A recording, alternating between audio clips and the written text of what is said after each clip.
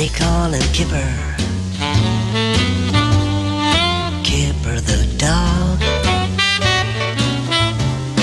The dog with the slipper. That's Kipper.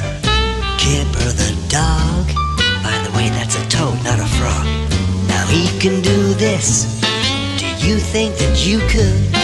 And he can do that, which is more than any old cat could. You like a dog, like a dog, like a dog, like a dog, like? That's Kipper.